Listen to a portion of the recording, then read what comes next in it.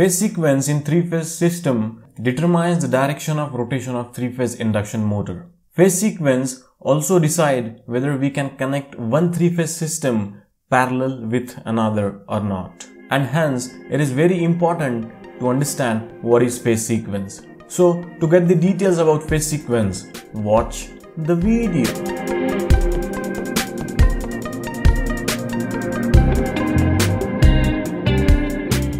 Of a three-phase alternator as shown in this figure, we know that phase difference is 120 degree in three-phase system.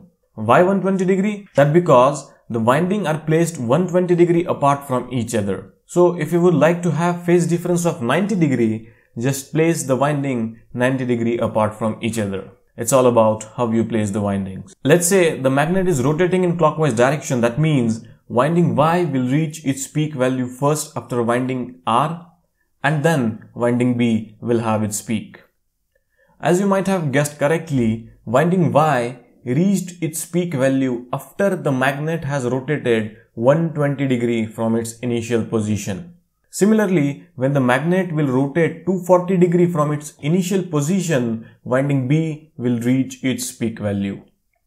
We can also say that waveform of winding Y is leading the waveform of winding B by an angle of 120 degree because winding Y is reaching its peak value before 120 degree of winding B. Or we can say that waveform of winding Y is lagging the waveform of winding R by 120 degree because winding Y is reaching its peak value after 120 degree of winding R. So if you observe the sequence of reaching peak values, you will find that winding R is reaching its peak value first and then winding Y and then winding B. And this sequence will continue till the magnet is rotating in clockwise direction.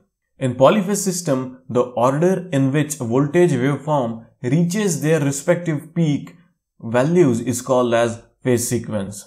Let's hear it again. In polyphase system, the order in which voltage waveform reaches their respective peak values is called as phase sequence.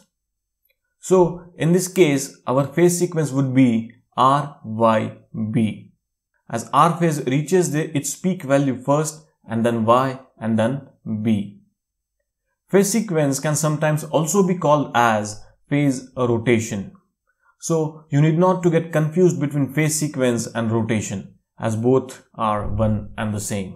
Now if I would like to reverse this phase sequence, what should I do? I only need to change the direction of rotation of my magnet. Now we will rotate it in anticlockwise direction.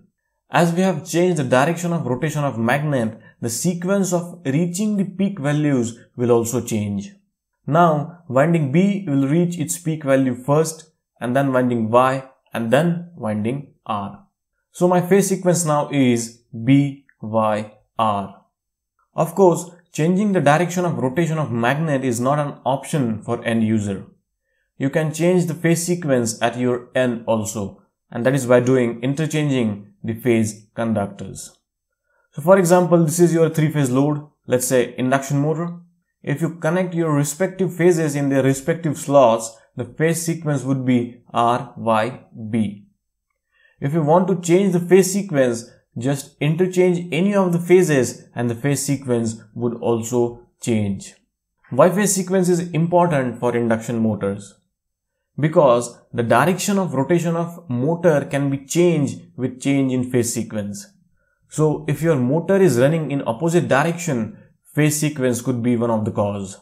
If your three-phase load is purely resistive, then change in phase sequence will not affect anything but it may affect the unbalanced inductive or capacitive loads. So I hope you have understood what is phase sequence. Do check out the description of this video as I have mentioned some of the video recommendations for you. That's all for this video guys. I'll see you in my next one. But till then, keep watching, keep learning.